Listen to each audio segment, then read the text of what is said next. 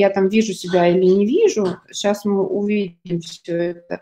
Что, э, теперь, видите, раньше можно было напрямую в э, Фейсбуке все транслировать, да. а теперь он как-то поменял немножко свои правила и возможности и лишил нас такого простого способа.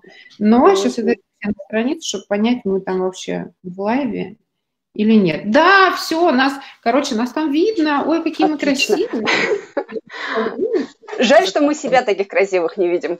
Ну, да, друзья, короче, доброе утро еще раз. Смотрите, да, какая прелесть. Значит, э, Гузель нас, э, нас не видит с вами, не меня, Нет. Э, только себя, но мы будем работать на ощупь.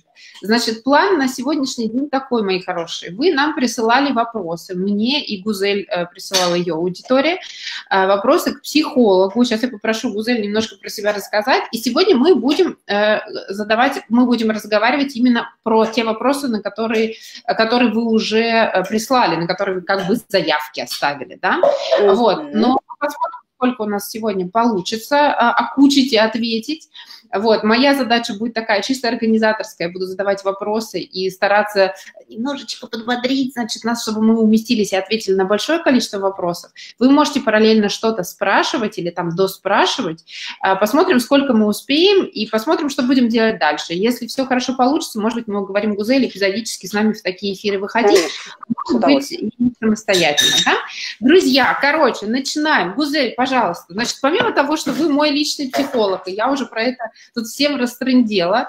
А, вы, вы психолог с каким-то потрясающим образованием и опытом работы, что меня лично, как клиента, вообще никогда не интересовало. Мне хватило нашей первой какой-то встречной беседы, там, типа, пробной на 30 минут, для того, чтобы сделать свои выводы, и все дальнейшие наши встречи, которые выглядели примерно как «есть задача, давайте решать», вот, они меня, собственно, мне вот с этого момента вообще не интересовало, что вы закончили, но есть люди, которые спрашивают, какой вы психолог, поэтому вы сначала кратко расскажите про себя, а я вам начну потом читать вопросы. Вот. Хорошо, договорились. На самом деле, знаете ли, э, не только вас, мало кого а, интересует, что я за психолог, какое у меня образование. Это, наверное, последнее, что меня спрашивают, хотя я предоставляю такую возможность при первой короткой встрече, говорю, спрашивайте вот любые вопросы, которые вам приходят а, в голову. Но, в общем, как бы это вот не особо интересует людей.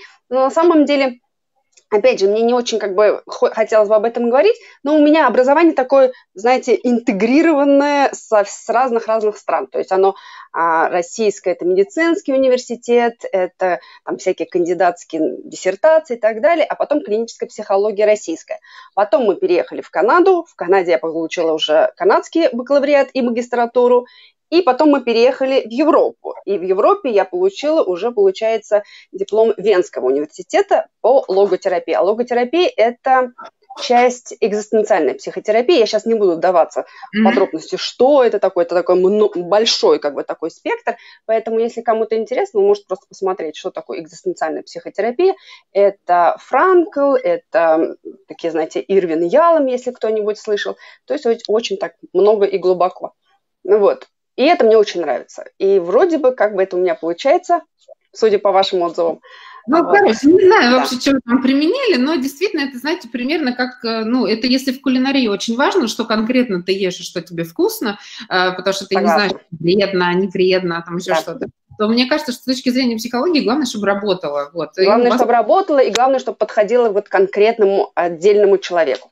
Ой, я, кстати, тут хочу сказать свое экспертно-клиентское мнение. Значит, друзья, я всегда говорю, что э, психолога нужно выбирать, и если он вам не подходит, вы это понимаете сразу, и надо просто идти искать другого, потому что тот человек, который подошел мне, вообще не факт, да. что подойдет вам. И может быть это там, может быть это другая психология, может быть у вас э, другой темперамент или еще что-то. Как по мне, это как раз самая простая задача в том, в том смысле, что если вам сразу не зашло, классно. И не зайдет.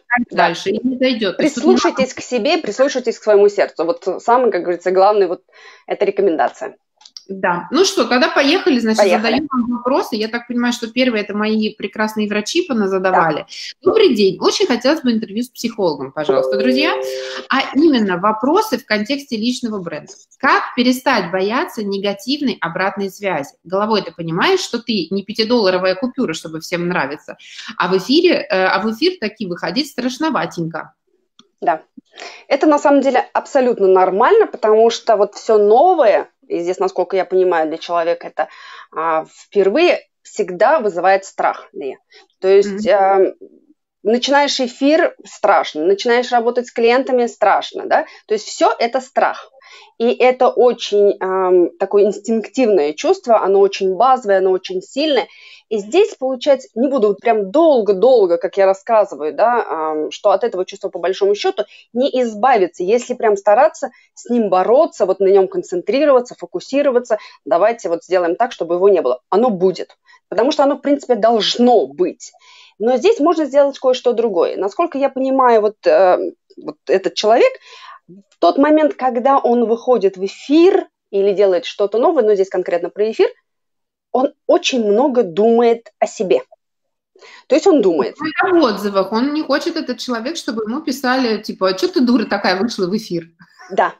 Во-первых, вряд ли так будут писать, но мы сейчас не об этом, да, то есть мы как бы не провидцы, чтобы там делать какие-то э, на эту тему скажем, предположения.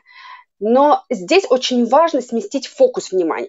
То есть, если человек будет думать, боже, как я буду выглядеть, а не будет ли там, я не знаю, у меня там прическа не испортится ли, что обо мне подумают, не буду ли я выглядеть глупо и так далее и тому подобное, то есть изначально эта как бы ситуация обречена на неуспех.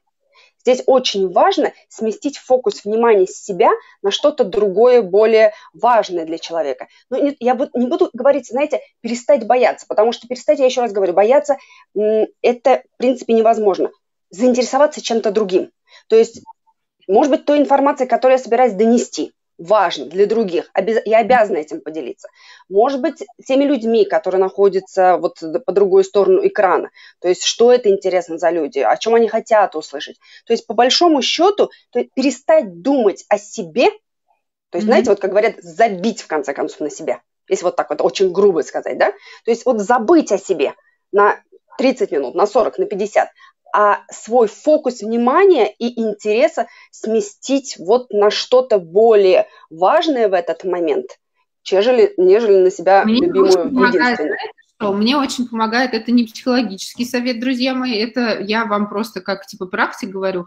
Я всегда пишу э, план э, эфира или uh-huh. план любого видео, ну, за исключением, наверное, сторис.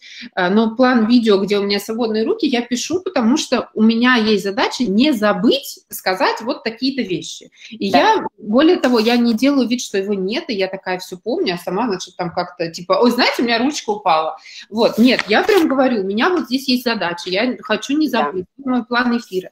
И, может быть, это поможет вам тоже переключиться с внимания к себе. Ну и да, совершенно верно, никто вам не будет писать, что вы дура, потому что если так кто-то напишет, он сам же, ну, как ли, даже если они уже пришли, они уже, в принципе, в вас заинтересованы. Они для чего-то здесь, они тратят это время на вас, да, вовсе не для того, чтобы потом написать, что вы дура. Ну, вообще есть, конечно, два страха. Первый страх, что никто не будет смотреть, второй страх, что будут смотреть и будут считать, что вы там какая-то не такая, ну или какой-то не такой. Вот. Но на самом деле, друзья, вы попробуйте, и когда вы первый раз свои аплодисменты поймаете, все будет у вас хорошо. А если никто не будет смотреть, я же говорю, если вам хочется попробовать, у нас есть чаты коллективные врачей, придите и скажите, у меня первый эфир пожалуйста, поддержите меня, давайте выйдем вот в 6 часов, вы мне скажете, как вам, я буду с вами как-то общаться. Я, например, когда своих студентов вижу, я все время стараюсь там прийти, задать какой-то вопросик, причем, ну, интересный, чтобы там было интересно на него ответить, еще что-то. Короче, друзья, мужчины, просто, да, не концентрируйтесь на страхе, видите, не надо концентрироваться на себе, как сказала Гузель. Так, ну что, мы можем переходить к следующему вопросу, или вы еще что-то Давайте. Добавить, нет? Давайте. Значит, мой вопрос к психологу может быть банален, зачитываю я вам, но это то, что мучает меня очень долго. Как не брать на себя проблемы других людей? Как дистанцироваться от этого? Я понимаю, что так включаюсь в проблему, что не просто думаю об этом постоянно, пытаюсь помочь ее решить всевозможными средствами. Это хорошо для других, но меня просто опустошает, особенно когда финал негативный. Например, если у моего пациента какая-то более глубокая проблема со здоровьем, ну, чем я могу решить, или, например, препарат mm-hmm. какой-то нужен, которого нет. Вот mm-hmm. как быть доктору в такой mm-hmm. ситуации? Тут получается, знаете, вопрос о том, насколько распространяется, как далеко я могу зайти, да, вот э, в том, чтобы сделать другому человеку вот добро. То есть это вопрос немножко контроля. И знаете, вот в психологии есть такое выражение. Насколько оно здесь применимо, мы не знаем как бы конкретно эту ситуацию, больше ориентируемся на то, что написано. Есть такое выражение ли, не нужно догонять и причинять добро. То есть сделайте то, что вы можете сделать. А дальше спрашивайте. Спрашивайте другого человека. Кстати, здесь э, чуть дальше будет очень похожий один вопрос. И он тоже вот как бы идея вся та же самая. То есть спрашивайте, как много, как бы, что я могу для вас сделать? Угу. Как я могу вам помочь? То есть не просто вот решить, да, что я, что называется, вот решу эту проблему, то есть помогу всеми возможными средствами. Не совсем так. То есть здесь немножко ответственность не только моя, как помогающего, но и тот, кто эту помощь принимает. И эту ответственность очень важно разделять. Если я беру ее на себя стопроцентно, то есть считаю, что это все под моим контролем, что вот полностью на мои плечи ложится, это неправильно. То есть очень важно вот эту ответственность разделять и спрашивать другого, и продвигаться настолько, насколько это другому нужно. Вполне возможно, у этого другого совершенно какие-то, скажем, свои собственные мысли и размышления на эту тему. В общем, а как бы разделять. А если э, угу. ситуации разные бывают, и да. сейчас же мы говорим даже не столько про... То есть я про слово ответственность понимаю, когда мы говорим угу. О отношении людей, ну, условно равных, но угу. когда говорим про врача и пациента, то пациент ждет от врача решения, да, то есть пациент говорит, ну, помогите мне, ну, придумайте хоть что-то, ну, ну ведь можно что-то делать. Это раз. Задача, а доктор знает, что у него нет ответа, ну, нету, да, ну, не придумал еще, как там продлить человеку жизнь в той или иной ситуации, например. Или пациент говорит, ну, я не знаю, ну, ну давайте как-то это лекарство достанем, ну, доктор, ну, помогите, не знаю, ну, да, и доктор говорит, хорошо, чем я вам могу помочь, ну, допустим, да, uh-huh. Uh-huh. Говорит, ну, я не знаю, ну, дайте мне денег, может быть, на, на то, чтобы купить это лекарство, или там позвоните каким-то своим друзьям, там, вы же со всеми вот летаете, общаетесь и так далее, да, такое тоже uh-huh. может быть, быть в этой ситуации. Я думаю, что здесь очень важно, опять же, быть честным с а, пациентом. То есть показать, что у меня есть вот такие возможности. Вот mm-hmm. такие, вот еще этот путь и еще этот. Все остальное вот как бы мне недоступно, к большому сожалению. То есть я могу вам там познакомить с кем-то, да, написать, но дальше-то как бы вот я не очень волшебник. Понимаете? Mm-hmm. То есть нужно показать, где вот ваши возможности все-таки заканчиваются. А если мы на себя, то есть я понимаю, я, знаете ли, я ведь сама врач, да, по первому образованию, я невролог. То есть я работала с пациентом, я знаю, что это такое, хотеть вот непременно вот вылечить, да, довести до конца, но это не всегда возможно. И вот здесь очень важно понять свои собственные ограничения, то есть быть честными с самим собой и с тем, кто перед тобой. Это важно. Он, он как бы он заслуживает этой честности. Угу. А и вот мои слова про ответственность как раз об этом. Угу. А как быть собой тогда? Вот вы сказали человеку про все ваши возможности. Да. Он услышал, он может тоже по-разному отреагировать, но сейчас мы эту угу. возможности не будем трогать, да? Угу что нужно сказать себе, чтобы потом уснуть просто? Вот то ты не смог, ты учился, ты, ты работал, ты, в общем, все сделал, но, но ты не можешь помочь. Тогда, типа, зачем это все? Ну вот, как, как, что нужно сказать себе, чтобы... чтобы то, да. что ты сделал уже до сегодняшнего момента, это важно? Это, это важно, что это было? То есть ты действительно здесь очень честна, как бы важна честность перед собой. Ты действительно сделал все, что мог, или все-таки не доделал? Или вот как бы отвлекся, или э, тебе деньги были здесь важнее. Вот я про эту честность. Если максимум, и я действительно дальше не могу, то есть я ограничен, я человек, угу. тогда, наверное, это вот место, где нужно остановиться. Угу. Вот я читаю комментарий к этому вопросу, потому угу. что он есть, да, вопрос Конечно. касается жизни и смерти. Балансировать на этой грани очень сложно. И не очень. помочь тоже сложно. И потом помириться со своей совестью. Нет, здесь я не согласна. Совесть – это внутренний компас того, который показывает нам, вот, знаете, как бы направление. Угу. Мы куда идем. То есть еще раз, вот этот момент. Мы делаем все, что мы могли сделать. Да? Mm-hmm. Или же все-таки еще остаются какие-то возможности, которые, вот, от которых я отмахнулась, да, на которые не обратила внимания, отвлеклась на что-то другое, на более, там, я не знаю, более важного денежного пациента или еще как-то, понимаете? Или там на свои какие-то радости жизни. Или все-таки сделала. То есть совесть – это очень такой предморальный а, момент, который, это даже не мораль, да, это мораль, это то, что нам, что называется, навязывается извне. Это мое внутреннее, вот, знаете, голос сердца – вот mm-hmm. его очень важно услышать. То есть я действительно, вот это все, это вот предел, дальше у меня как бы нет или еще есть что-то. Просто, знаете, мне кажется, mm-hmm. что вопрос еще связан вот с какой, э, с какой вещью. А, то, как устроена медицина в Европе, предполагает, что врач в свое время за свои деньги делает реально все, что он как бы может. И если нужно еще, то у этого есть тоже другие условия, да, там да. приходит другой врач, или там приходит сиделка, или там достаются препараты. Помогающие то, существа. Да, у этого Именно. есть как бы такая, ну вот больше, что ли, резиновости, возможностей и времени, угу. денег, да, на то, чтобы угу. помочь. А я понимаю, что вопрос пришел из Украины, где, скорее всего, история может выглядеть следующим образом. Доктор, который там неплохо зарабатывает, ну, благодаря собственным uh-huh компетенциям и вообще и, там, ну, и все остальное, да. А, например, есть пациент, которого, в принципе, наверное, можно было бы вытащить, если бы этот доктор забил на то, что у него двое детей дома, на то, что uh-huh. у него там муж или жена, или там uh-huh. свои увлечения, uh-huh. своя другая жизнь, другие пациенты. То есть uh-huh. я понимаю, что система медицины в Украине устроена таким образом, что, наверное, ну, как бы вытащить с того света можно было бы большее количество Согласна. людей, если бы реально там каждый доктор отдавал вот в прямом смысле слова все, что у него есть, вот на этого пациента. Да, он не помог бы больше никому, испортил всю свою жизнь, но вот конкретно этого он бы вытащил с другого света. Вот uh-huh. как быть с этим ощущением, что ты нет, ты не до конца сделал.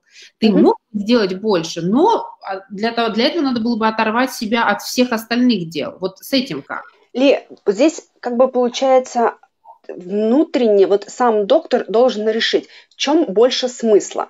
То есть вот как бы забить, опять же, как вы сказали, на всех остальных своих больных. То есть mm-hmm. от этого вот как выиграет мир в этом случае, да? То есть где будет больше выигрыша не для меня, для mm-hmm. других. То есть для моих больных, да, там для, мои, мои дети тоже важны, это тоже люди. То есть не менее как бы важны, не то чтобы для меня, а в принципе, да, как бы для существования, для этого мира, чем вот конкретно этот человек. Если здесь самое осмысленное, то есть вот все это отодвинуть сейчас, даже не забить, а именно отодвинуть, и вот сделать все максимально, еще больше, еще больше конкретно для этого человека, вот для вот этого понимания у нас и есть вот этот момент совести, понимаете? То есть внутренний какой-то голос.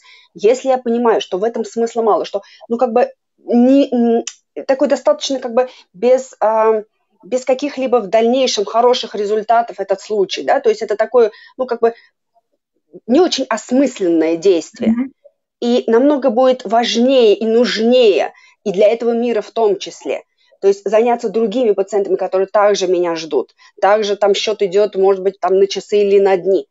И вот здесь вам внутренне нужно будет сделать этот выбор. То есть правильно расставить приоритеты. Угу. Приоритеты, которые ориентируются, еще раз говорю, как бы мотивируются не деньгами, это вообще не об этом, да, мы сейчас не о том ведем речь, не да. о собственными какими-то желаниями там и какими-то, я не знаю, наслаждениями. Нет, именно в чем больше смысла. Прям, знаете, задавать этот вопрос себе. Вот в чем сейчас, в этой конкретной ситуации, больше смысла. То есть все свои ресурсы вот сюда или все-таки вот сюда. Угу. Или распределить, или как? На этот вопрос будет отвечать каждый человек в отдельности. Поняла. И это Хорошо. важно, чтобы он отвечал правильно, прежде угу. всего перед самим собой. Угу. Ну, то есть тут такой барометр типа внутренний, да? Это однозначно, однозначно. То есть мы все знаем, что такое совесть. Мы все знаем, что это такое, когда внутри вот это свербит, да? То есть неправильно, я не так сделал, не нужно было это сделать, понимаете, да? То есть нужно было идти по-другому. Мы знаем вот этот голос, и важно к нему прислушиваться. Угу. Все, хорошо, ладно, поняла. Слушаемся э, своего внутреннего голоса. Читаю следующий вопрос. Давайте. Э, как убедить сейчас пациента, что все будет хорошо с ним, если я, как доктор в этой истории пандемии, сама не знаю, как будет?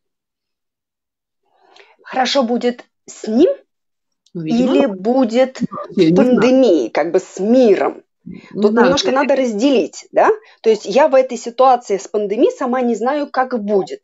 Как да. будет с миром, да, после этой пандемии, или конкретно с ним. Это немножко две разные вещи, и нужно здесь понять. То есть если с пациентом все будет хорошо, так и сказать. А вот с миром что будет, я не знаю. Ну, да. И как это отразится на всех нас, я тоже не знаю. Ну хорошо, а стоит ли, э, ну вот, допустим, представим себе какую-то такую сложную историю, там, угу. онкологическую, то, что, мне кажется, ассоциируется у всех с медициной и страхом, как-то сразу идет история онкологии, угу. которая, конечно, да. Угу. Ну, например, э, ведется какой-то курс терапии, и врач, конечно, он надеется, что это поможет но на самом деле он понимает, что шансы типа 50 на 50. Серия или поможет, или не поможет. Но он пациента должен убедить, что все будет хорошо, потому что иначе мы все понимаем, что вот этот вот психологический фон и отношение к, э, к собственному будущему и так далее ну, влияет да, на ситуацию. Врач должен вот эту ну, как бы надежду и веру пациенту передавать, что все будет хорошо, хотя сам он не уверен. Как это как будет? Ли, смотрите, вы ведь даже слова используете немножко другие, да? Вот даже когда вы формируете, вы вообще не тот врач, но тем не менее, да? Смотрите, вы говорите надежда, вера и при этом убежденность. Угу. Это ведь две разные вещи. То есть я тоже надеюсь и верю. Вот есть вот такой процент, да? То есть вот mm есть такая статистика, и она связана, вот как бы наши с вами как бы действия, они связаны с тем, что все будет хорошо, с надеждой и верой. Убежденность – это стопроцентная гарантия. mm Она ни на что не существует в этом мире. Не говоря да, уж об онкологии. Я очень люблю цитировать прекрасного, э, такого очень пожилого пластического хирурга. Он просто uh да, на всю, на весь Кавказ точно. А, значит, есть такой профессор Кузанов, и мы были у него в гостях в клинике, и он такой... таким носом, как у меня, значит, такой весь импозантный, э, прекрасный, значит, дяденька, и его спросили, типа, профессор, скажите, пожалуйста, а какие гарантии вы даете? И он, значит, ответил, я обожаю эту фразу, гарантий, никаких гарантий мы не даем. Мы даем новое лицо или там новый нос, да, новый, но не гарантии. Мы не даем. Да. да. Нет гарантии. В этом мире, в принципе, ли, то есть нет гарантий ни на что. У нас mm-hmm. с вами нет гарантии, что мы сегодня, завтра проснемся. Да, гарантии, да, что мы эфир закончим, нет никакой. Абсолютно, понимаете, может, мне сейчас штукатурка на голову начнет сыпаться. Да ладно, ладно. Может, все по-другому будет. Так, я читаю следующий тогда вопрос. Давайте. Вопрос для психолога. Как избавиться от профессионального выгорания? Дальше есть комментарий, который э, очень специфический. Очень, Я да. думаю, что многие э, смогут применить на себе в том числе, придумав свой какой-то пример. Больше 20 лет работаю в трихологии. Диагностика и лечение заболеваний волос и кожи головы. Если заниматься этими проблемами серьезно, а не просто там проколоть витамины и плазму, как делают 90% тех, кто называет себя трихологами, по факту они косметологи чаще всего, даже не понимающие серьезности проблемы своих пациентов. Можно сказать, сфера это достаточно депрессивная. Существует даже такое понятие, как психодерматология. У дерматологических пациентов проблемы психического и психиатрического характера встречаются чуть ли не чаще, чем у пациентов-психиатров. Психо, э, э, психотрихология – все хуже в несколько раз. И основных проблем здесь две. Что при наличии заболеваний волос, особенно серьезных, у врачей есть мало эффективных методов лечения, которые можно предложить пациенту. Даже небольшое улучшение во многих случаях следует расценивать как настоящую победу.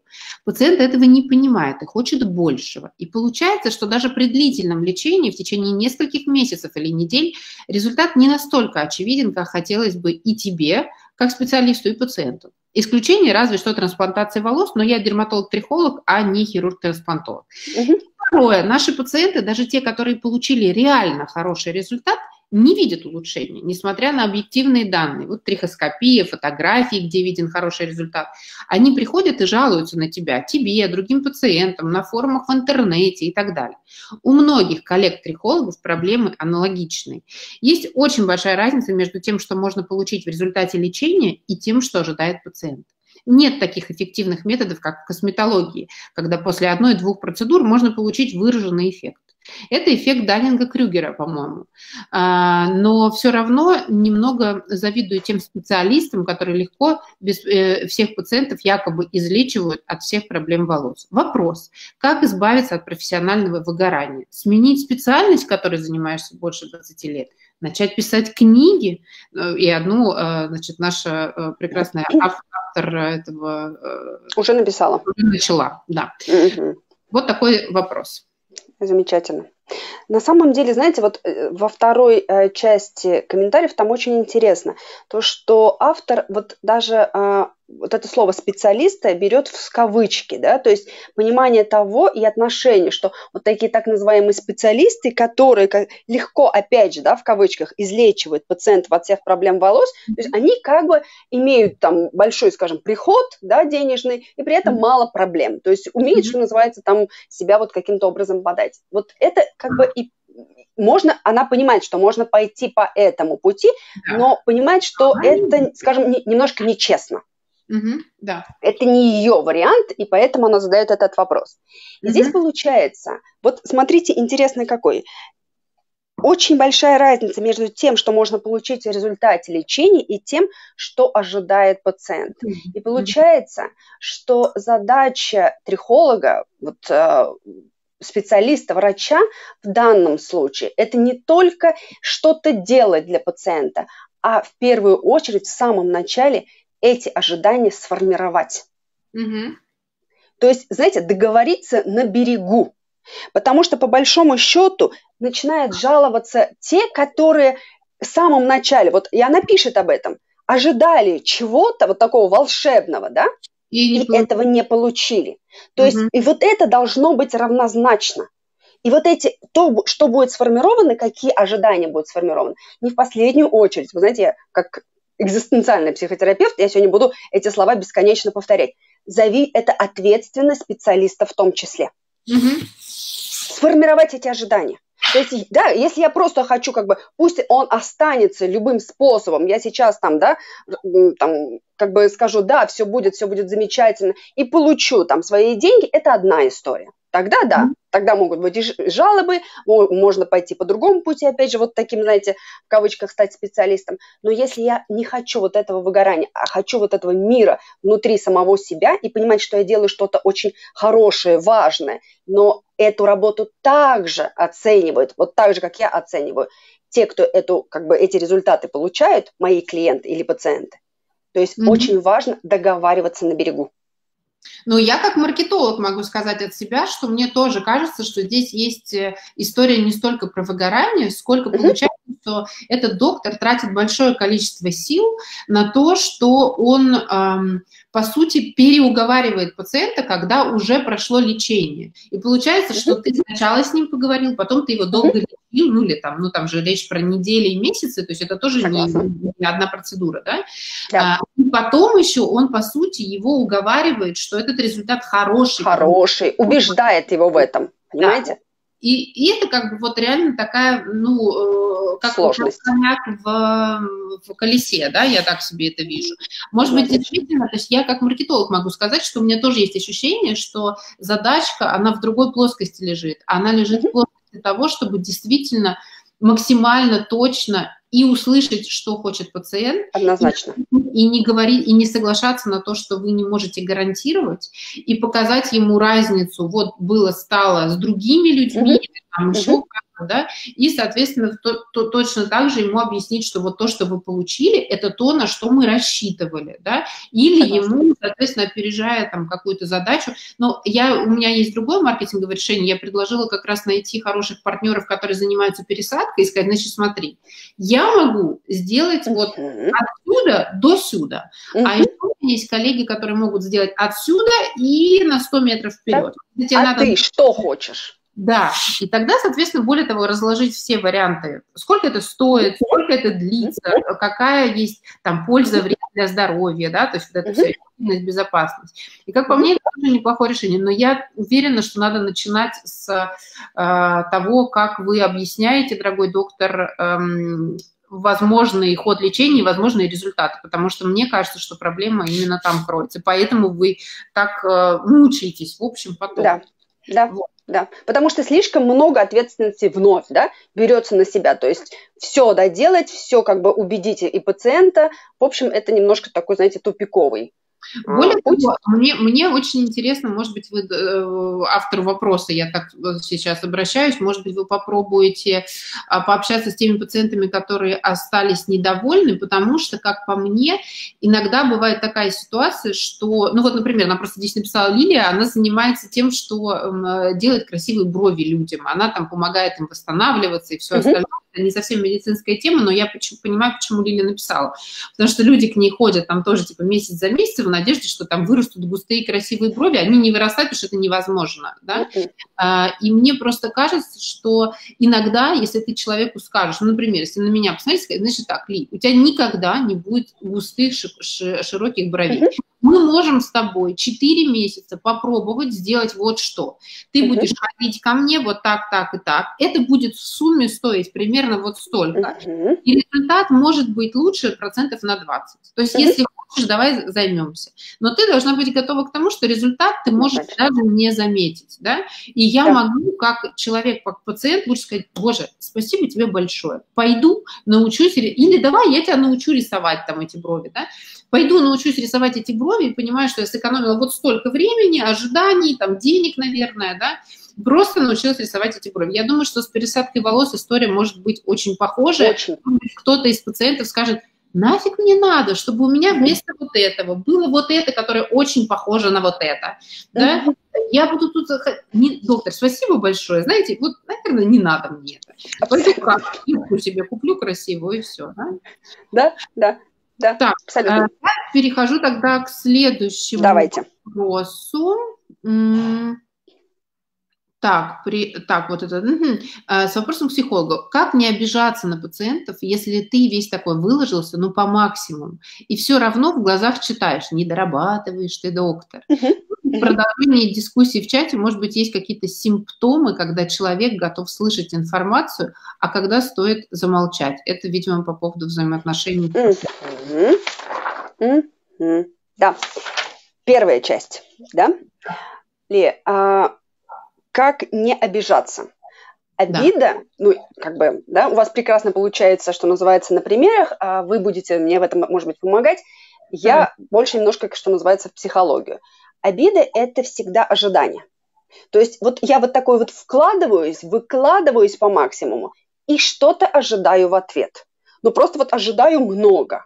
mm И вот если это много я не получаю, то есть здесь всегда будут обиды.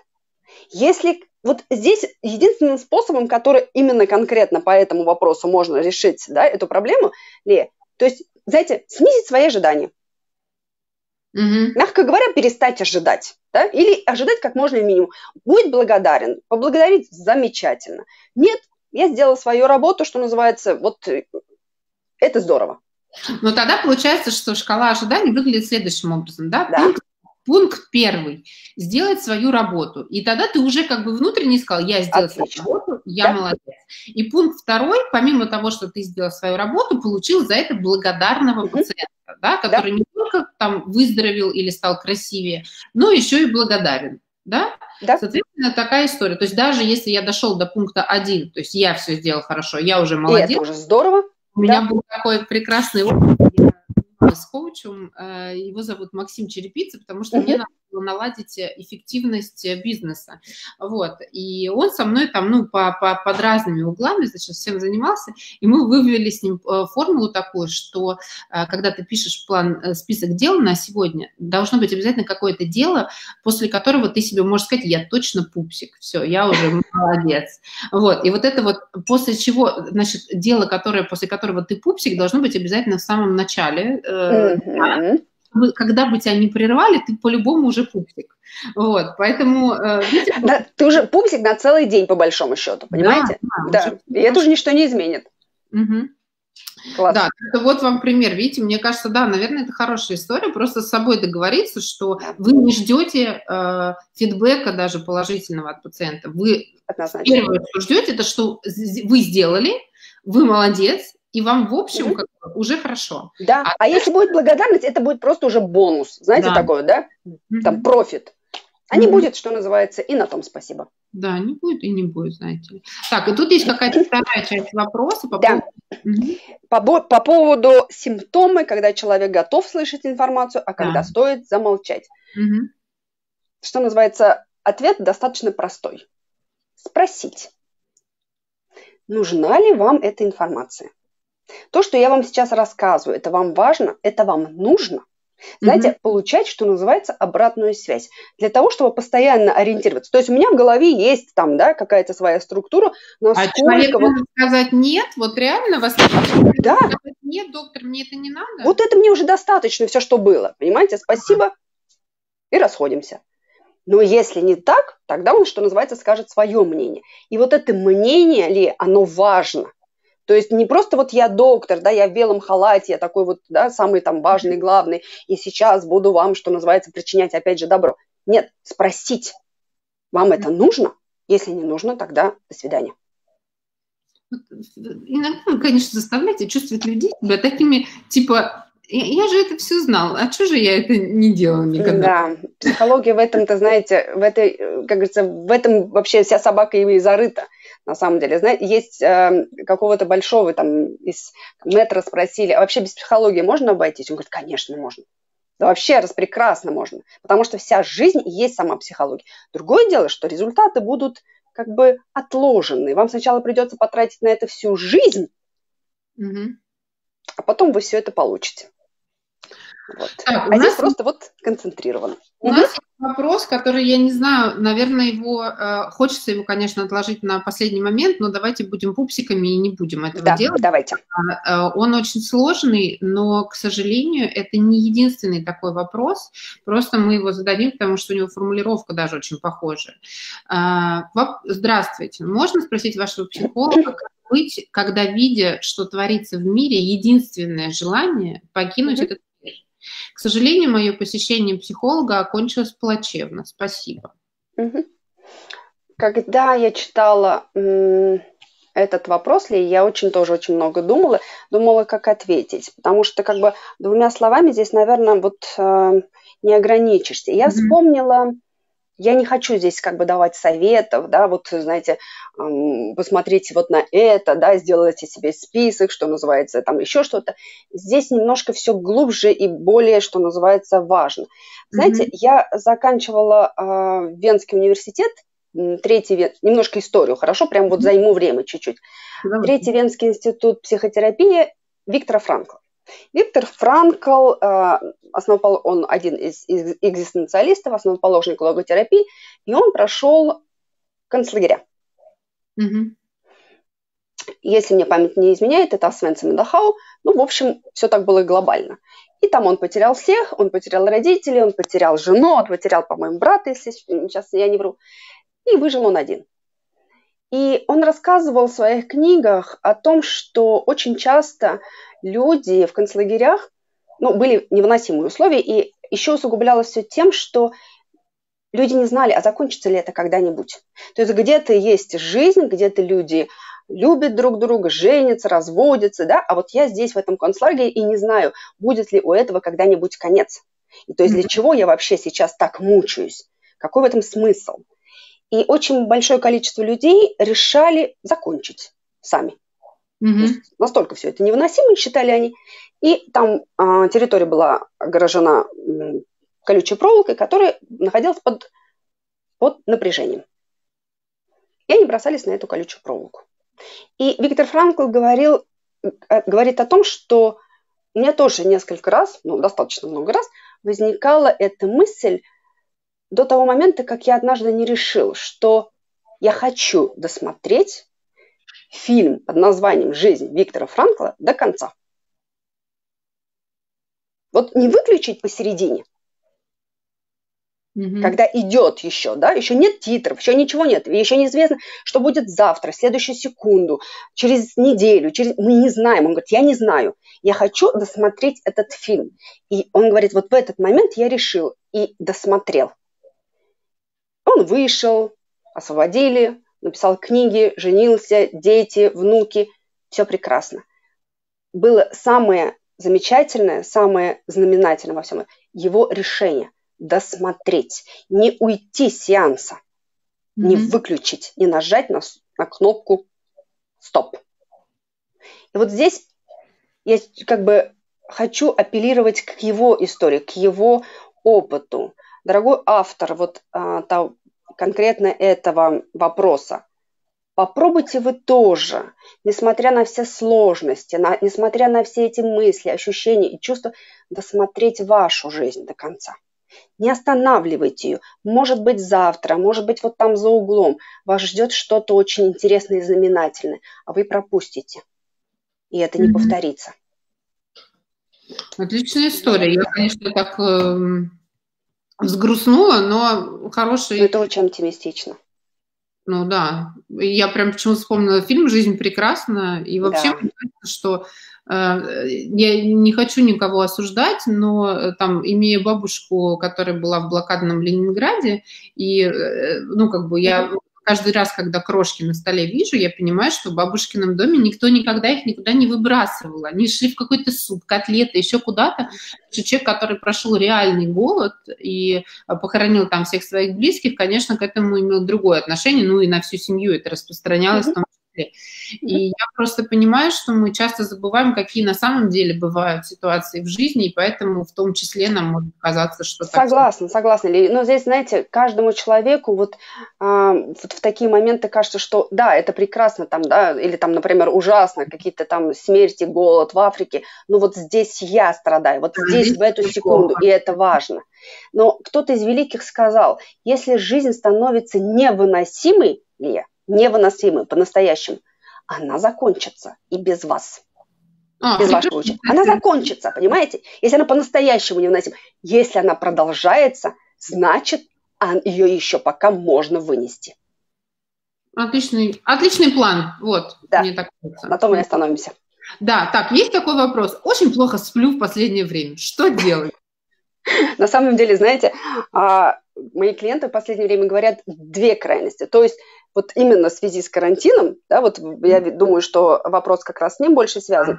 Думаю, То есть да. либо они плохо спят и не спят, либо они очень много спят. Угу. То есть вот как бы во втором случае это защитный механизм, когда вот человек, знаете, вот такой немножко вот спячку, да, погружается, угу. чтобы отгородиться от того, что происходит да. вот за пределами его дома. А второй вариант, я не знаю здесь а, как бы причин, тут надо разбираться очень индивидуально, что там стоит, может вообще какие-то эндокринологические там, да, проблемы и так далее тому подобное. Здесь я бы посоветовала одну единственную, вот прям конкретно совет от психологов, которые советов не дают. Поддержать себя какой-то седатикой. То есть буквальным образом, вот не надо там переходить в, анти, какие-то антидепрессанты или еще что-то, там э, бензодиазепины. Нет, именно седативными препаратами. Буквально, знаете, какой-то там, пион, валерьянка, да, боярышник, вот таким. Именно... Секс, опять же, знаете? Еще? Секс очень помогает хорошо спать. А, ну да. Ну, если нет такой возможности, тогда валерьянка. Нет, тогда пион. Да. Класс. Точно. Так, хорошо, тогда переходим дальше. Ну да, я понимаю, что на самом деле, друзья, с точки зрения сона, это же не, не простая история, да? да? Если вы пробовали спорт, секс и хорошее кино и ложились без гаджетов, то дальше идите к доктору, вероятно. Так, созрела на вопрос для психолога. Один. Когда мне, как врачу, нужно отказаться от лечения пациента и так, чтобы не мучила совесть? Ну, угу. то есть еще и себя простить заодно. Угу. Пациент полностью беспомощна. То, что нужно делать по протоколу, очень вероятно принесет дополнительные страдания и физические тоже, которые ни она не перенесет, ни ее родственники. Как мне отказаться от ее лечения и сохранить к себе потом уважение? Может быть, к этому вопросу я говорила вот а, по поводу ответственности а, чуть раньше. Может быть, нет. Посмотрим. Но здесь очень интересное вот это дополнение, Лия, то, что если про проходить дальше это лечение, продолжать его, то при огромное дополнительное страдание, которое на самом деле, да, то есть пишет а, автор, не принесет как бы облегчение. То есть это очень сложно, и ни она не выдержит, пациентка, ни ее родственники, а мне хочется продолжать, да, потому что как бы я должна, потому что это моя работа. это... Нет другого, по сути, нет другого решения. По протоколу... Нет другого ну... решения, да. Но решение на самом деле, знаете, оно всегда есть. Вот, это хорошо или плохо, но это так. Угу. Здесь получается вот задать себе вопрос. Вот два варианта. Продолжаю, останавливаюсь. Вот буквально. Вновь к нашему, что называется, бедному, измученному внутреннему голосу. В чем больше смысла?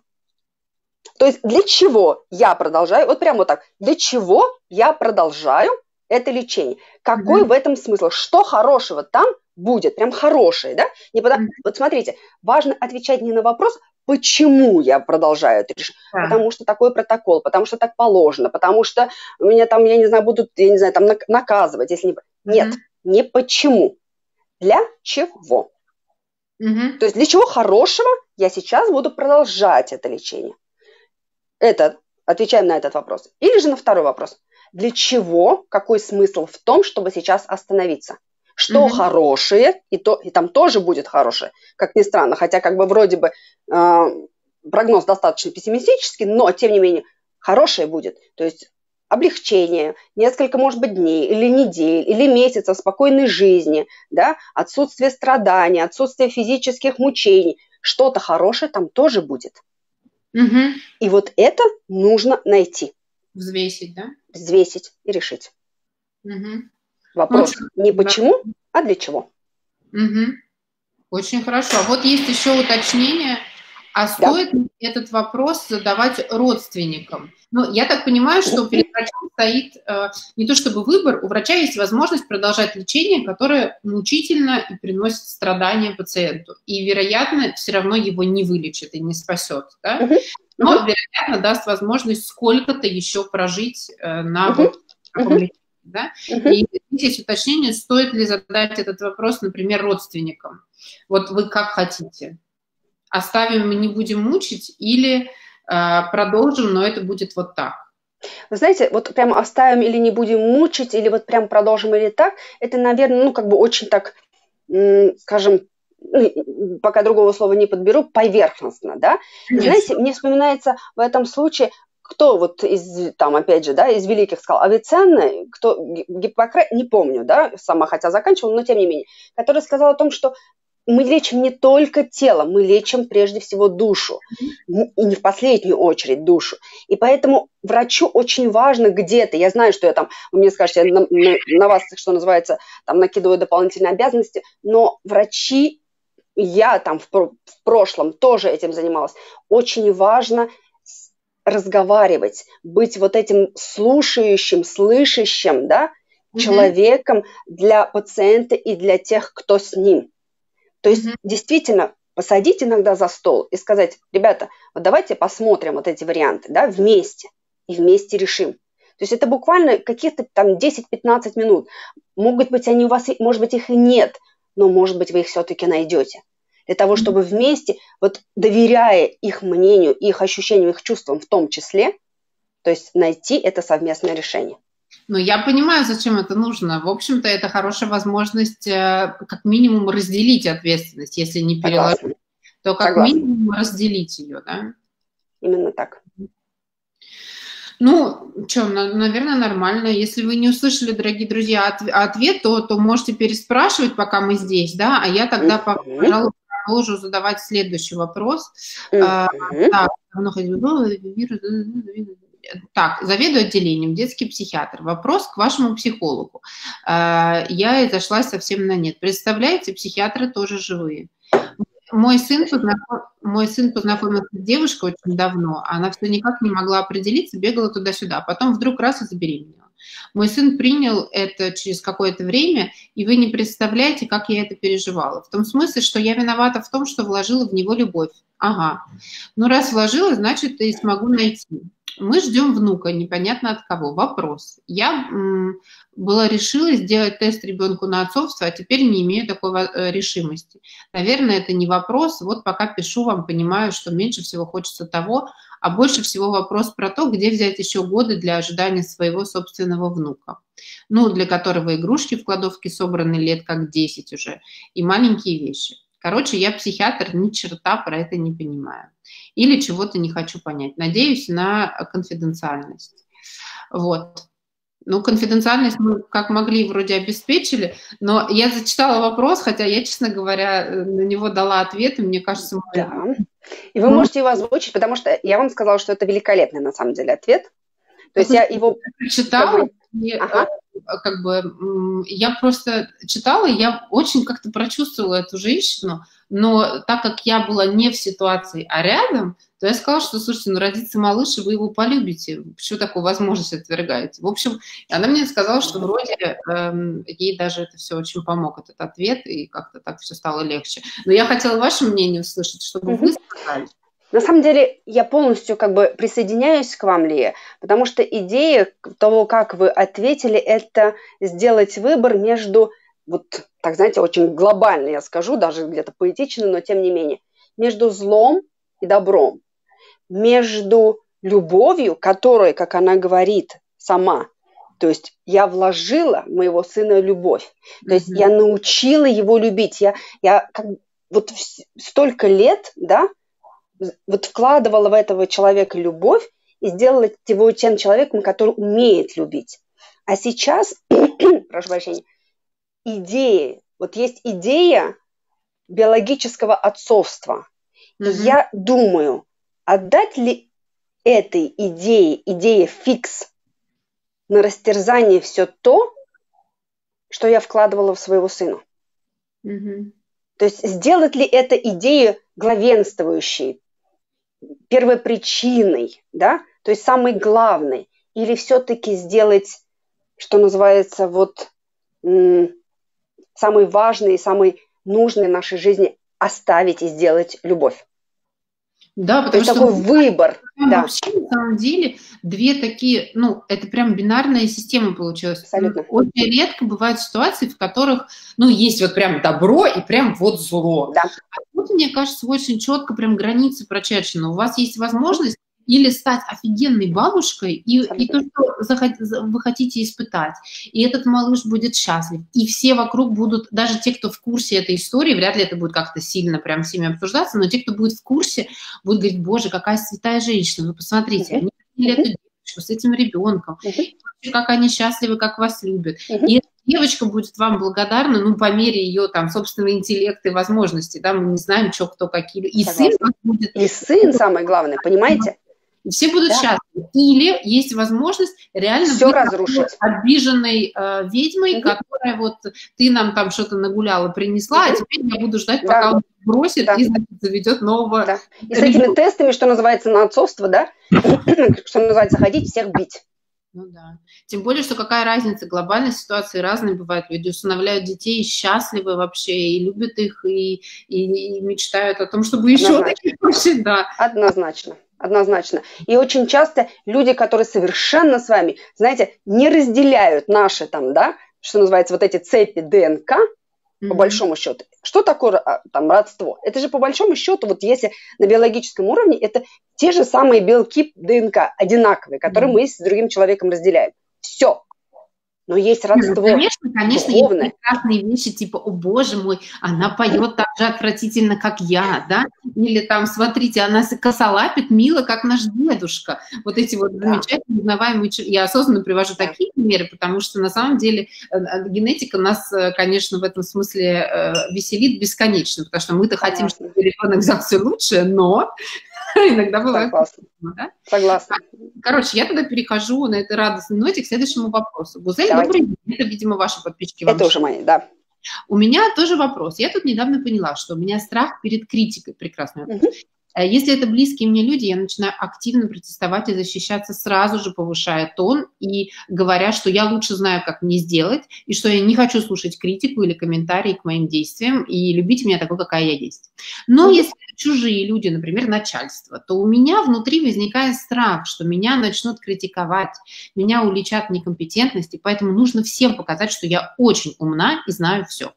И если вдруг случается какая-то ситуация, где я не справляюсь или э, не умею, и мной недовольны, то я считаю, что меня здесь не любят. И все желание продолжать общение с этими людьми у меня отбивается. Причем э, доказывать обратно или ругаться я не могу, так как должны соблюдаться межличностные рам, рамки. И я просто закрываюсь на э, этом общении, ну или сотрудничество, может закончиться. И обычно заканчивается. Очень редко я аргументированно могу объяснить, но это обычно бывает, когда все происходит на удаленке, есть время подобрать слова, а, а не сливаться в эмоции. Кстати, это моя особенность является проблемой. начинать что-то новое, э, так как я не знаю и не умею что-либо хорошо и могу ошибиться, и меня раскритикуют и не будут любить. Я примерно понимаю, что эта проблема тянется из детства, когда все мои действия критиковались родителями, и я просто в какой-то момент перестала им рассказывать, что происходит в моей жизни. Вопрос, как это преодолеть и не бояться получать негативную обратную связь, нормально на нее реагировать и продолжать общение, ну или сотрудничество, не бояться начинать что-то новое. Что нужно конкретно делать, чтобы научиться справляться с такими ситуациями? Спасибо за ответ, всего доброго и не бойтесь. Спасибо. Ли, здесь вопрос, наверное, не то, чтобы справляться с такими ситуациями. Здесь вопрос не в ситуациях. Есть огромное количество людей, которые у которых в жизни есть подобная ситуация, они получают да, негативный, что называется, да. или там комментарий, или негативная mm-hmm. обратная а, связь, но при этом с этим прекрасно справляются. То есть проблема не в ситуации, проблема в отношении к этой ситуации. Mm-hmm. И здесь, получается, ведущим у этого человека опять вновь становится страх. Вот страх да. этой критики. То есть да. страх руководит человеком. И благодаря этому страху, да, с его помощью он, а, что называется, дистанцируется, не начинает что-то новое, начинает скандалить, там, разругиваться со своими друзьями, близкими, знакомыми, замолкает и как бы не отстаивает свои там права, границы, например, на работе и так далее и тому подобное. То есть начинает возникать огромное количество неправильных действий, вслед за этим страхом. Mm-hmm. То есть здесь получается именно вычленить страх. То есть вот страх мною руководит. Что еще можно было бы сделать? Да. Понимаете? И посмотреть, прям вот здесь на самом деле как бы вот э, непочатая работа для психолога. Да.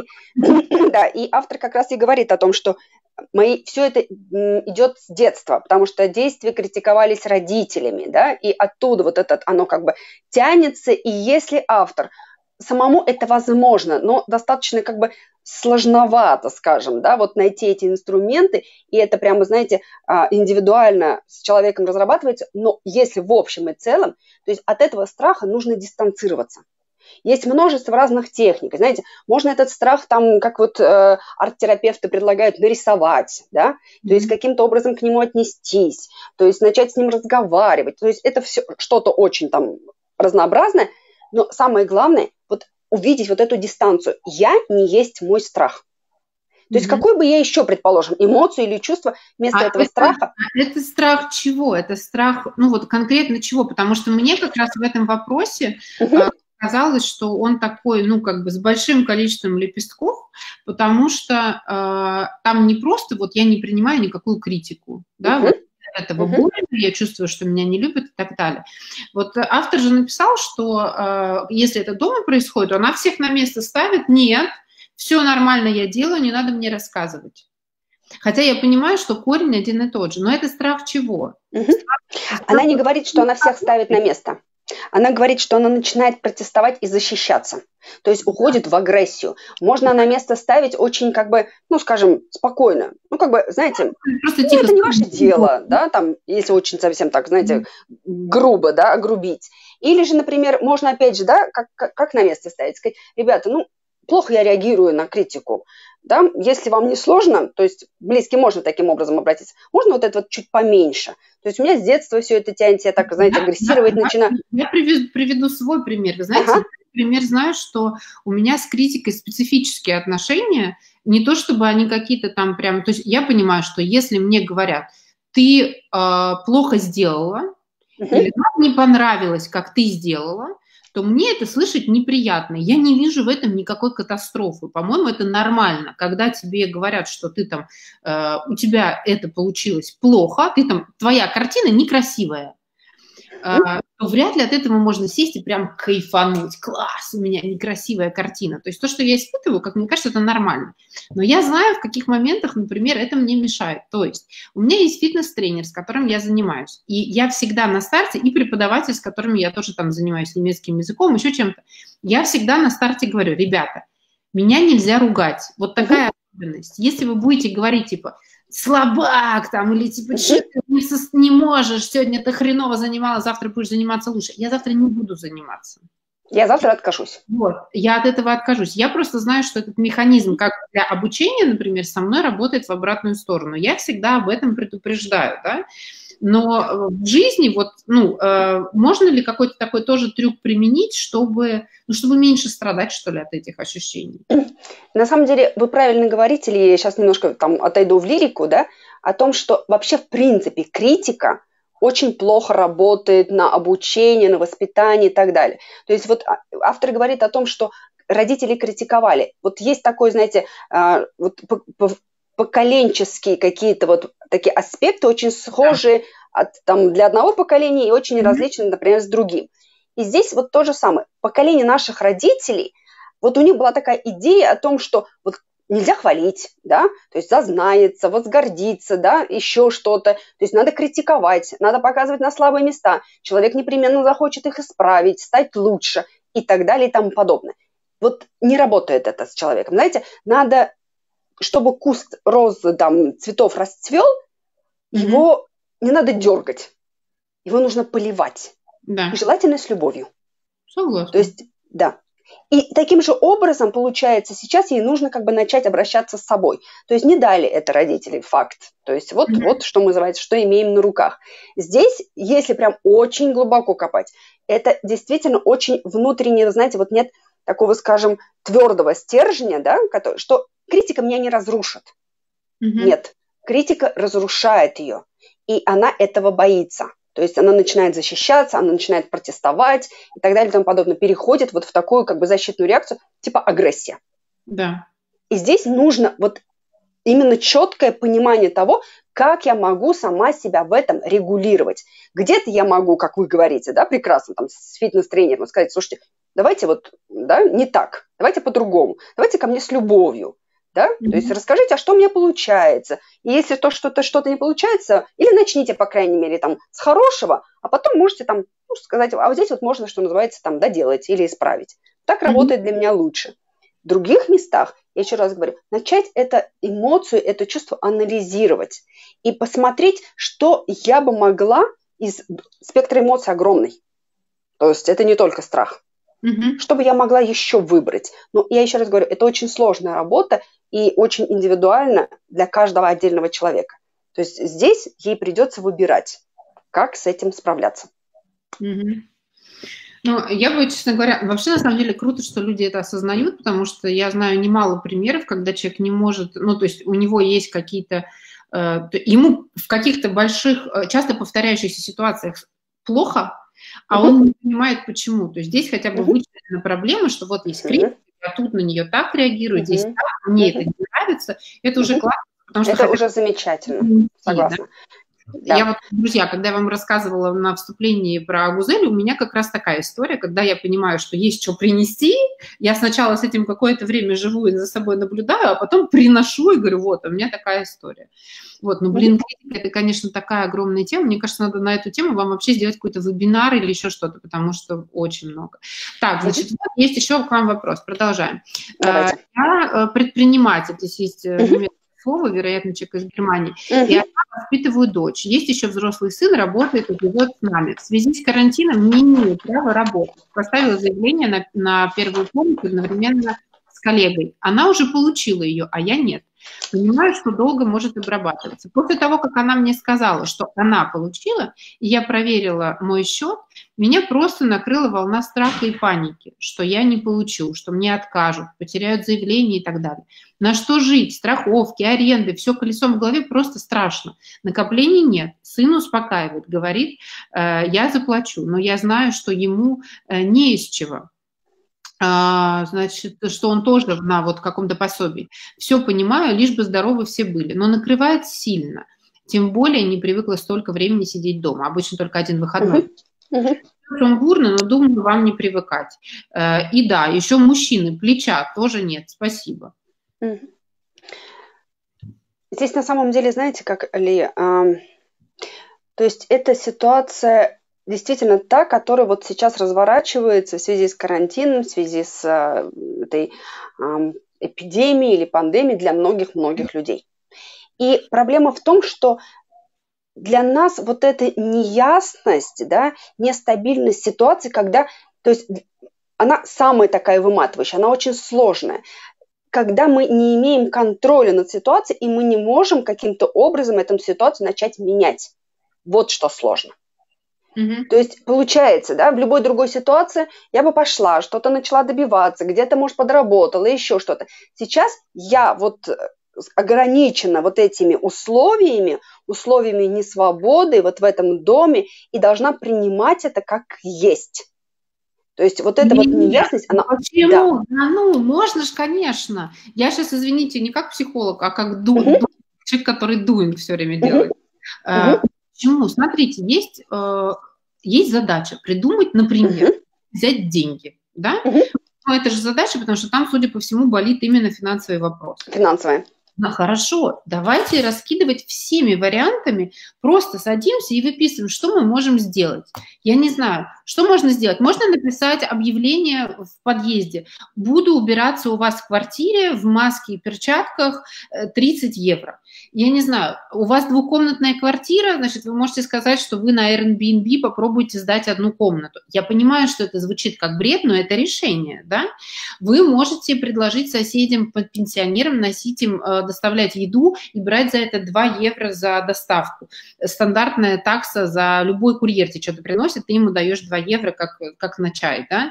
Вы можете сесть, придумать, я не знаю, что вы умеете делать. Умеете печатать на компьютере, значит, сделать объявление, что я могу вам перепечатывать звуковые сообщения, все что угодно. То есть можно себе сесть и написать целый лист того, что может вас в самом крайнем случае выручить. Гулять с соседскими собаками, э, там, я не знаю, ну, то есть реально этих вариантов много. Зайдите в магазин соседний и спросите, что я могу сделать. Я сейчас, извините, что так на эмоциях, но я тут недавно услышала историю э, барышни, которая всегда на меня производила впечатление, как девочка, которая всегда была успешно замужем и могла заниматься чем угодно, и она такая всегда была вот из тех женщин, которые кажется, что если что бы ни случилось, дождь пойдет, а она без зонта, она сядет заплачет и скажет, ну что же мне делать? Uh-huh. Оказалось, что в свое время, будучи э, в, в очень сложной ситуации, там, в стране без языка, ну, толком без языка, э, муж ушел в какую-то секту, она пошла э, в ближайший отель, куда они ходили раньше ужинать, в красивом ресторане, и сказала, мне нужна работа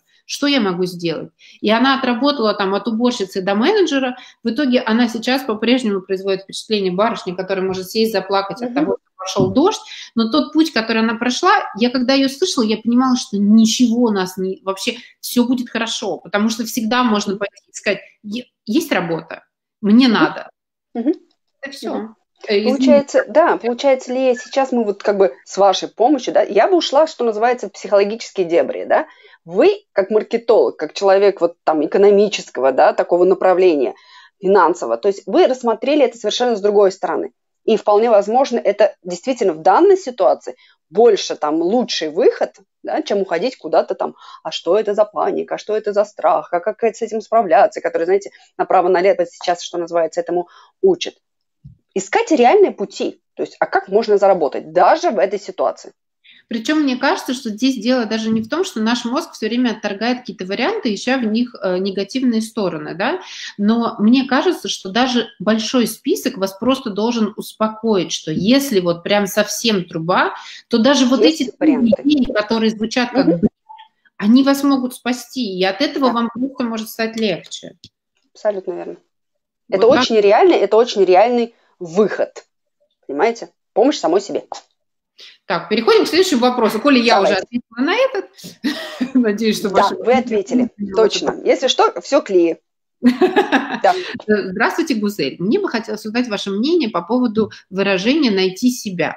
Так часто его слышишь, когда люди говорят о залоге счастья. Но э, это все так расплывчато. Есть ли вообще такая вещь, как одно общее «я», которое можно найти? Или это фикция? Спасибо. Вы знаете, для меня тоже это очень расплывчато. То есть находят, наверное, то, что потеряно.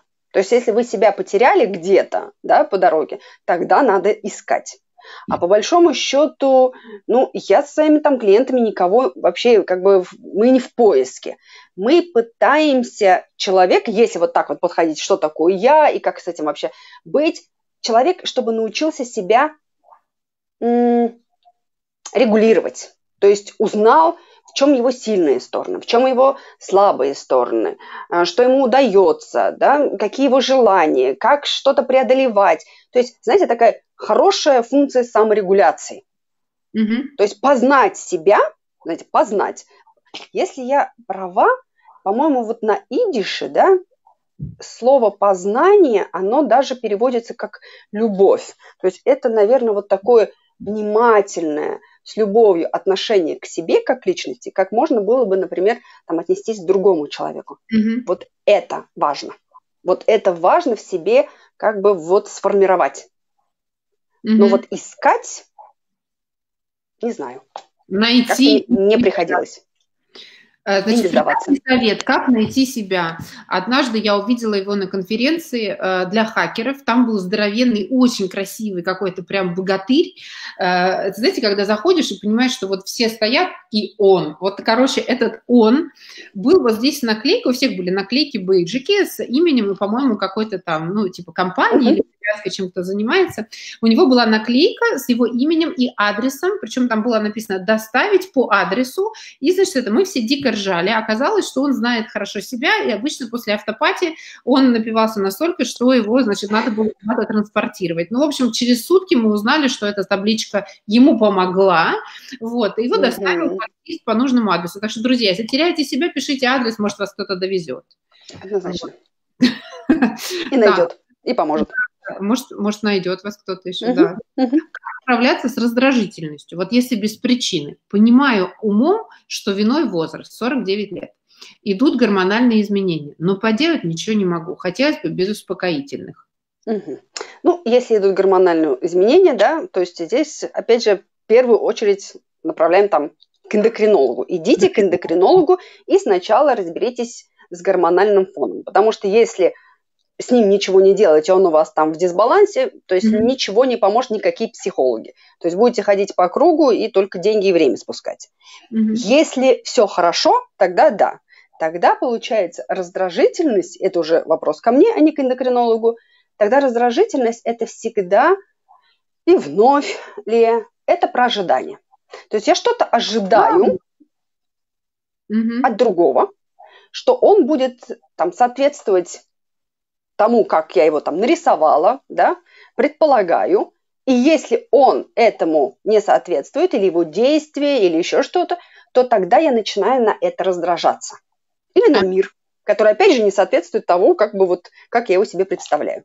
То есть здесь вновь и как бы опять к ожиданиям снизить эти ожидания, то есть разобраться со своими ожиданиями. А что это за ожидания? Для чего они? Какой в них смысл? А зачем как бы вы вообще с ними носитесь? Да? Может, пора как бы начать от них избавляться или хотя бы одни заменить на другие, там, более рациональные? Вот.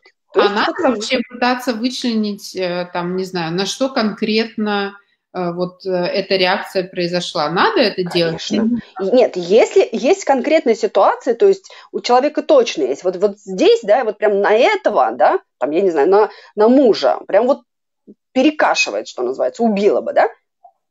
Конкретно в чем? Почему на него пере, там, такая агрессия, такой уровень, а с коллегами, с подругами или соседями все прекрасно?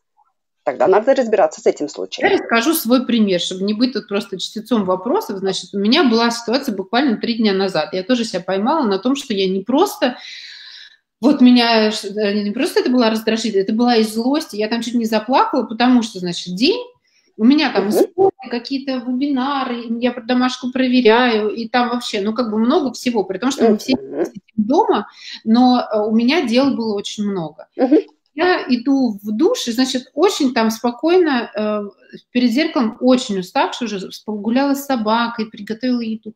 Короче, умываю лицо. И я слышу из кухни мой ребенок, дочь моя, кричит, «Мама, оса!» И я понимаю, что в этот момент, ну, то есть, то есть я должна все бросить и пойти спасти человека от осы. От осы? Вот.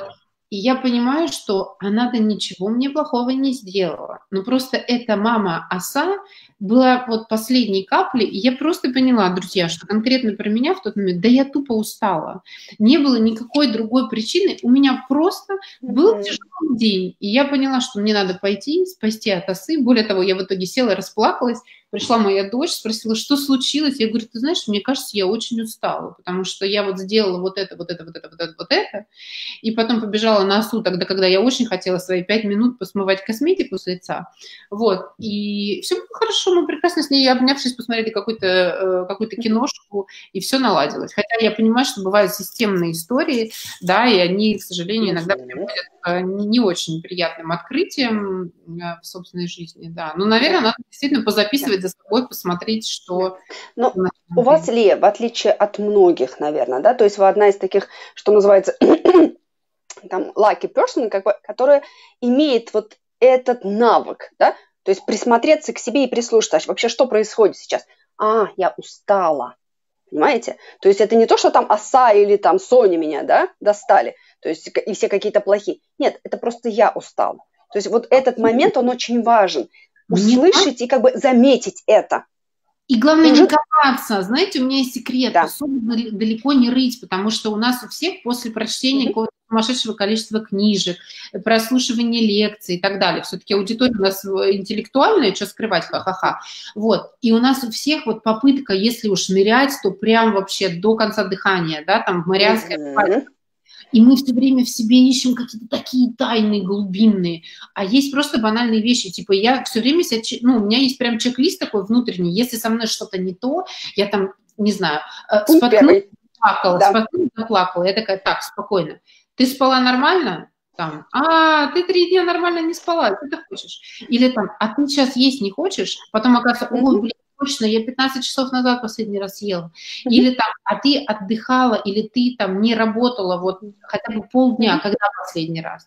И я, когда себя на эти вещи чекаю, я очень часто нахожу ответы именно там, друзья мои. Мы часто просто по пирамиде Маслоу, будь она проклята 30 раз, сколько можно про нее.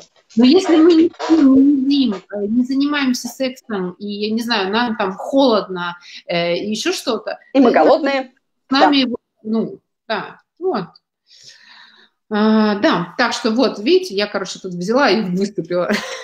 Классно выступили, классно. На самом деле это так и есть. То есть это просто как бы правильное, внимательное отношение к себе. Ди. Угу, спасибо. И, оно, и его нужно развивать. Вот и все. Да. Следующий вопрос, а потом предлагаю, сколько еще разбираем. Хорошо. Время выучиться на удаленную профессию, но возникает много сомнений. Ведь учеба платная, и нужно занять деньги у мамы. Вот у нас угу. как клиент появился. Как побороть стыд и неуверенность за то, что тебе нужно занимать у мамы? Кстати, не обязательно у мамы, это может быть э, у кого-нибудь еще. Как побороть стыд? так, здесь надо не со стыдом и неуверенностью, да, как бы вот даже не совсем с этим, а посмотреть вот как бы это действие. Для чего я собираюсь это сделать? То есть вот я собираюсь занять деньги для чего? То есть э, просто чтобы спустить их в казино?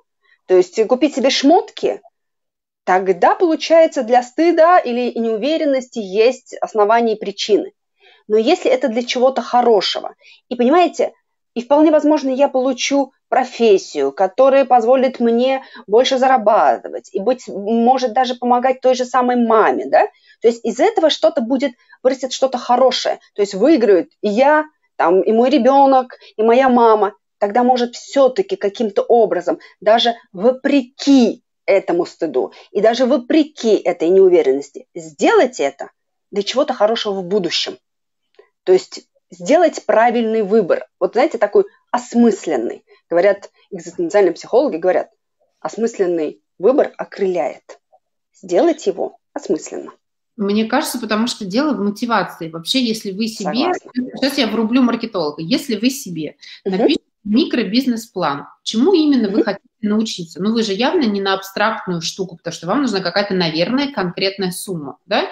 У вас, вы ее увидели, она вам, видимо, понравилась. Садитесь, прям прописывайте. Стоит учеба столько-то. А, длится она столько-то. Когда я смогу в теории использовать свой навык? Ну, я не знаю, может быть, на первой неделе обучения, может быть, через три месяца. Это важно, да? То есть вам надо думать, вам эти три месяца еще надо на что-то жить, если что, да? В этом речь. Дальше вы в себе прям ну, пишете или простраиваете в голове, я за то, чтобы все писать, пишите, где вы возьмете первых клиентов. Угу. Может быть, на курсе вам преподаватель скажет, такое бывает, что вы отучитесь, и я вас уже вот пристрою лучших студентов к себе учиться. Если это так, о какой сумме вы можете думать на первых порах и дальше? Потому что есть какие-то объективные вещи, там, например, время. То есть, условно, у вас может быть времени там, на трех клиентов, которые принесут вам в минимуме столько-то, а за максимальную цену, на которую вы можете рассчитывать, но не сразу, вот столько-то. И вы можете, более того, если вы для себя это проговорите, иногда окажется, что ваша идея никуда не годится, потому что может оказаться, что учеба дорогая, никаких гарантий, что вы потом это отобьете, нет в принципе. И это может быть тоже неплохо. Может быть, вы скажете той же маме или себе, я не знаю, смогу ли я, я даже не знаю, захочу ли я, но я хочу очень это попробовать, и сейчас у меня есть на это время. Если все получится, то я стану счастливее от того, что я смогу этим заниматься. А вдруг? Да? То есть да. это тоже нормальный мотив. Или у вас нормальная мотивация финансовая, что mm-hmm. вот так выглядит мой план, реалистичный он вот такой, пессимистичный прогноз он вот такой, да, и я буду отбивать эту учебу год. Вот. А оптимистичный, что если у меня будет там, не знаю, все получаться, э, и там мне дадут первого клиента, то я эту учебу отобью там, не знаю, да через месяц после того, как я ее закончу. Более того, у вас тогда и для мамы будет, для разговора с ней, или не для мамы, для банка, для друга, для... Обоснование обоснование и, и для себя внутри. Более того, вы, мне кажется, этот страх сам пройдет, когда вы сами увидите, насколько классная или не очень идея. Согласна. Согласна. Вы очень вовремя врубаете маркетолога ли, прямо замечательно. И полностью поддерживаю о том, что мотивация очень важна любого действия. То есть для чего? Зачем вы это делаете? Чем вы мотивированы в этот момент? Я еще раз говорю, чем-то плохим тогда останавливайтесь. Если чем-то замечательным, тогда вполне возможно, если еще плюс тот же план, который там вам сейчас расписала Лея, то есть это то, что должно быть реализовано.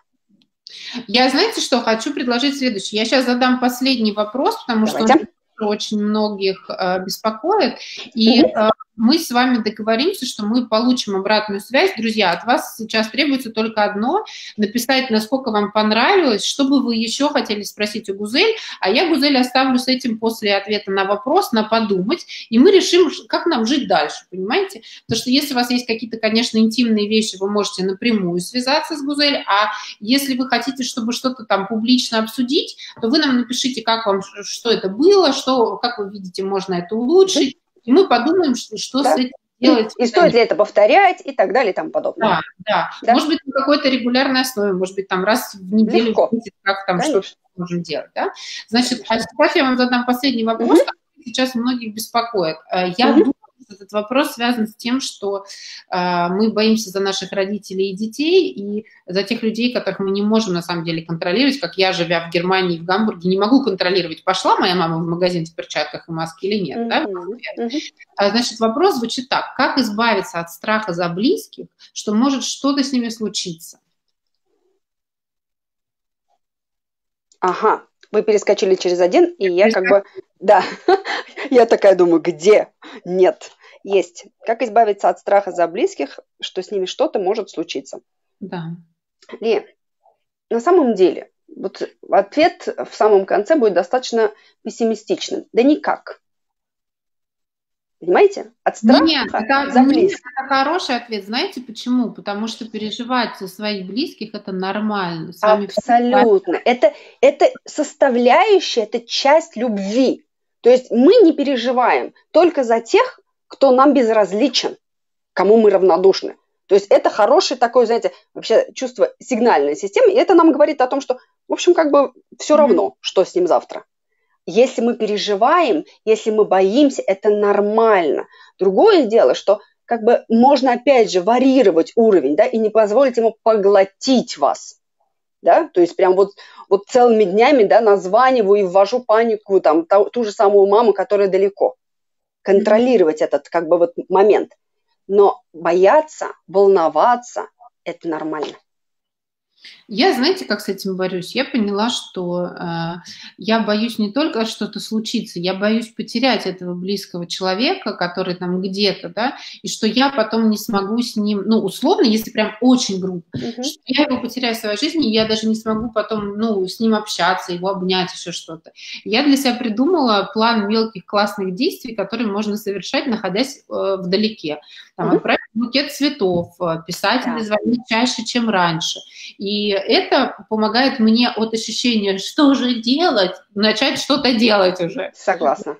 Это, это классно на самом деле, потому что, знаете, ли это такое, как бы, опять же, такое экзистенциальное завершение, что вообще сам, сам момент смерти, он важен в нашей жизни, позволяет нам понимать, что бытие – это конечно да, и ценить его от этого больше. То есть когда-то это все закончится, тогда как я сегодня могу этому человеку, который так важен для меня, сделать что-то хорошее? Сказать что-то хорошее, поддержать. Вот это важно. На этом нужно сконцентрироваться. На действиях хороших. Прекрасно, друзья. Вот вам вы говорите, вот какой финал. Мне прям все нравится. Гузель, спасибо огромное, было прям потрясающе. Мне очень было интересно. Э, друзья, значит, э, вот нам тут уже пишут всякие благодарственные комментарии, что нас слышали, слушали, и всем все очень понравилось. Мы э, возьмем для себя паузу и с Гузель обсудим, что нам с вами делать дальше, потому что я поняла, что вы с удовольствием присылаете разные всякие вопросы. Я надеюсь, что мы хоть кому-нибудь немножечко подсластили этот наш э, такой, в общем, солено-кислый период, когда мы Карантина. живем в реалии, да, да. карантине. Гузель, спасибо вам большое прибольшое. И, э, дорогие друзья, вы нам пишите, какие мы молодцы, а мы, соответственно, э, что, вот, ну, критику не надо, мы же разобрались. Мы разобрались, что не нужно, да. Это можно отложить. Конструктивную, конструктивную можно, потому что я, например, считаю, вообще Гузель надо на какой-то постоянной основе выходить в эфир. Это я вам как маркетолог говорю. Да, вот, я уже знаю. Какое-то конкретное время и выходить в эфир, может быть, по, так, по такой же схеме готовиться, собирать заранее вопросы, потому что э, читать вопросы из комментариев просто тупо отвлекает, да, то есть тут э, дело в бытовом удобстве. Вот, а вообще мне, конечно, очень все понравилось. Спасибо огромное за эфир. Друзья, в общем, подписывайтесь, оставайтесь с нами, что там, жмите колокольчик, у нас нет колокольчика, это шутка, господи. Вот.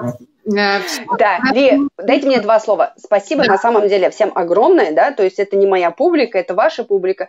Спасибо огромное за интерес. Мне как бы здорово, что это вам понравилось. Я надеюсь, что... Да, Лия сказала, что ей тоже, а мне вообще было все замечательно. Класс, спасибо. Благодарю. Хорошего дня и до скорых да, встреч. Да, всем взаимно. Всего доброго. До да. свидания. До свидания.